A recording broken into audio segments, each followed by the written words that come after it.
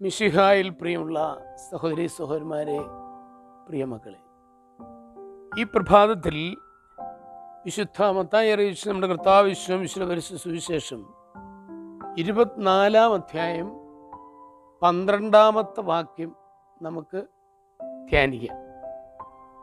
ഇങ്ങനെ പറയുന്നത് അധർമ്മം വർദ്ധിക്കുന്നതിനാൽ പലരുടെയും സ്നേഹം തണുത്തു പോകും ഒരു ഒത്തിരി തിന്മകളുടെ സാഹചര്യങ്ങളൊക്കെ ഉണ്ടാകുമ്പോൾ നമ്മൾ തീക്ഷ്ണമായ സ്നേഹത്തിൽ മുൻപോട്ട് പോവുകയാണെങ്കിലും പലപ്പോഴും അവിടെ ഒരു തണുപ്പ് ഒരു മരവിപ്പ് ഒക്കെ ഉണ്ടാവാൻ സാധ്യതയുണ്ട് എന്നതാണ് ഈശോയുടെ പറഞ്ഞു വെക്കുന്നത്.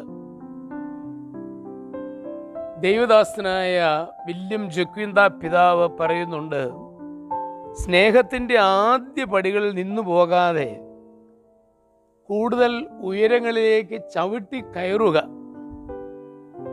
സ്നേഹത്തിന്റെ ആദ്യപടിയിൽ നിൽക്കുവാനായിട്ട് വലിയ ബുദ്ധിമുട്ടില്ല. അപ്പോൾ സ്നേഹത്തിന്റെ ആദ്യപടിയിൽ നിന്നുകൊണ്ട് നമ്മൾ നമ്മുടെ ശുശ്രൂഷകൾ നമ്മുടെ കുടുംബത്തിലെ കാര്യങ്ങൾ എല്ലാം ചെയ്ത് മുന്നോട്ട് പോകുന്നു. സ്നേഹമാണെന്ന് ചോദിച്ചാൽ സ്നേഹമാണ്. അല്ലെന്ന് ചോദിച്ചാൽ അങ്ങനെ ഒരു മന്ദഗതിയുടെ അനുഭവമാണ്. എന്നാൽ അവിടെ നിന്ന് പോകാതെ കൂടുതൽ ഉയരങ്ങളിലേക്ക് ചവിട്ടി കയറണം. അതിന് തീർച്ചയായിട്ടും നമുക്ക് കടമയുണ്ട്. കർത്താവ് നമുക്ക് നൽകുന്ന ആ സ്നേഹം ആ കഴിവ് അത് വളർത്തിയെടുക്കുവാൻ നമുക്ക് കഴിയണം. അങ്ങനെയാണ് നമ്മൾ ഒരു യഥാർത്ഥ ക്രൈസ്തവനായി മാറുന്നത്. അതിന് ഞാനും നിങ്ങളും പരിശ്രമിക്കുന്നുണ്ടോ എന്ന് ചിന്തിക്കണം.